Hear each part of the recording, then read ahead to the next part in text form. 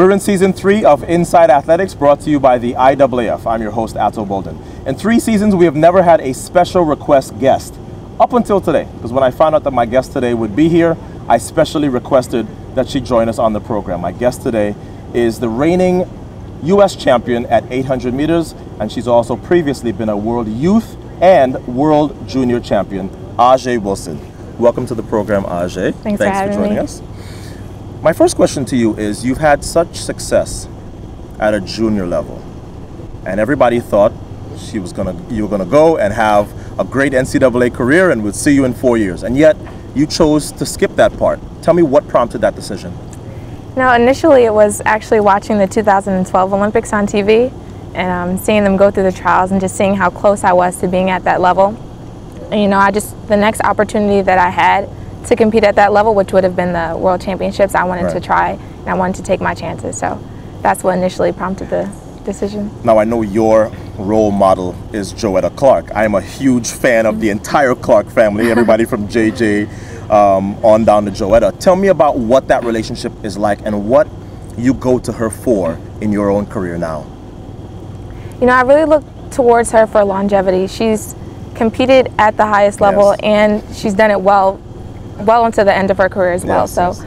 Um, my coach and I, you know, we just focus on looking ahead and looking where I'll be in, you know, five, maybe 10 years if I'm lucky. Right. And just thinking about the future, not focusing so much on now.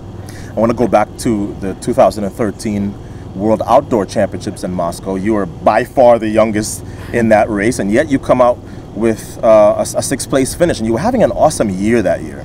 Um, tell me about your memories of that race and you know, if you felt any pressure, you know, toeing the line as the final gun sounded?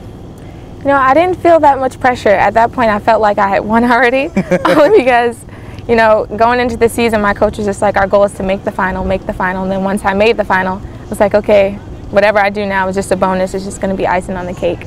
Um, so I just went out there and ran as hard as I could, you know. Looking back, there's probably some things that I could have done differently. Mm-hmm but um, it was a great first time, first go around, first experience. So now, two years later, we're in a world championship here again. And of course, you have to go and try out to make that U.S. team. But if you're, and if you're able to make that team that's headed to Beijing, what did you learn, if anything, in Moscow that you think you can take to improve your position in Beijing? Since Moscow, I've just learned to be a competitor. You right. know, I was racing scared. I was like, okay, really? yes, I really was. I was like, you know, I don't know if they come through this fast, if I'll be able to hang, if I'll be able to keep up. And, you know, it's just taking a lot more, putting in more training and having more confidence in my coach and just in myself that's going to help me compete there. So many of the stars of this sport train with big groups you don't have that sort of situation. you have a more intimate setting. Um, tell me about what your your situation is. I know you train in Philadelphia outdoors. yes. Tell me about a little bit more about your training circumstance. Um, my first year out, I was pretty much by myself. I think we had a couple high school kids. My coach right. still coaches high school track who um, I was training with, and now this year we have Marielle Hall. She's the reigning 5K NCAA champion, okay. and we have Alfredo Santana, Kamara McDonald. So you're, you're turning Yates. into a super group. Yes, you know, we're just a nice, we're still pretty small and right. we're really intimate and we all just work well together. We push each other and um, we have a good thing going right now. Now, I don't know if you're somebody who writes down your goals, but when it's all said and done, what, what kind of times would you have liked to have run in your career? Wow. I don't know.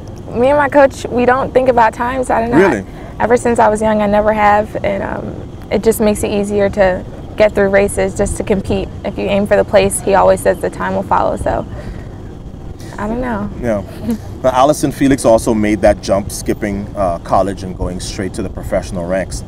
Um, I know that she had to sort of grow up very quickly because you go from being in high school where sort of everything is done for you and now you do this for a living. What's the thing that you've discovered now that you're a professional track and field athlete that you could have never known a couple years ago when you were just competing as a high schooler? Is there something where you went, wow, I didn't know that this is what happens in professional track and field? Well, honestly, I didn't even know that track and field, like, you could be professional. Really? in all honesty.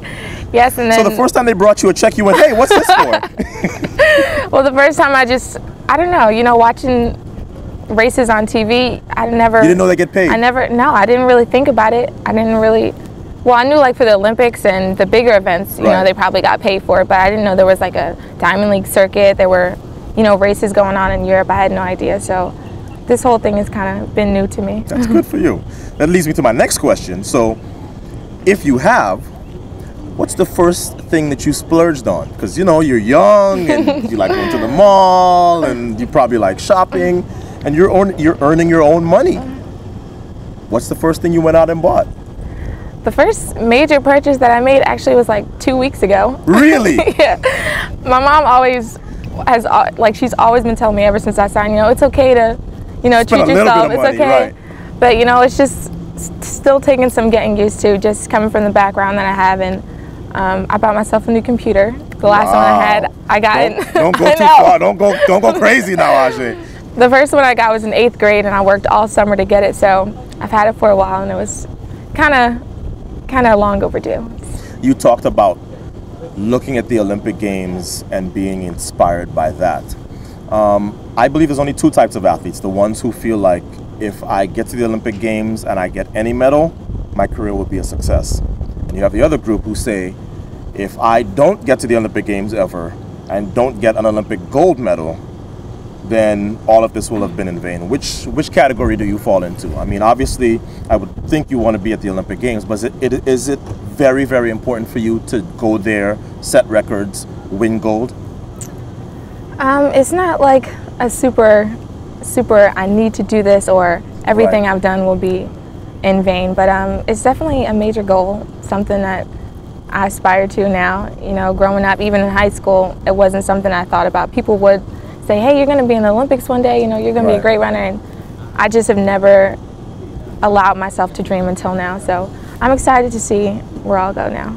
Now, there's a young girl probably watching this out there, looking at you and saying, "She's my inspiration."